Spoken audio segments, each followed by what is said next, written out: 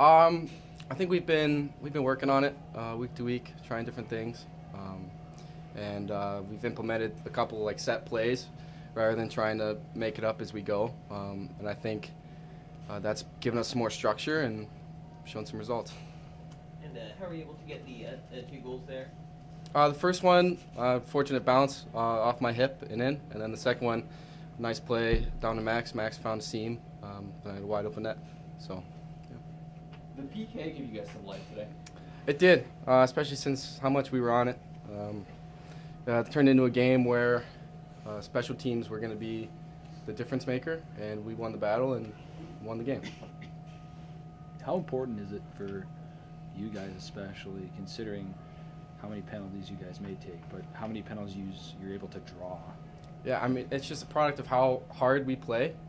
Um, I mean, there's a fine line. Sometimes we, we go over and it, it hurts us, and we're killing penalties, but also teams have to match that intensity and take most nights equally as many penalties, if not more. So a lot of our games come down to the power play winning. So our past couple games have been closer games. If we sprinkle in a one or two power play goals, um, it's it's a lot different story. So. Even on the PK, you guys had guys making a difference in their zone. Were you happy with the forecheck tonight?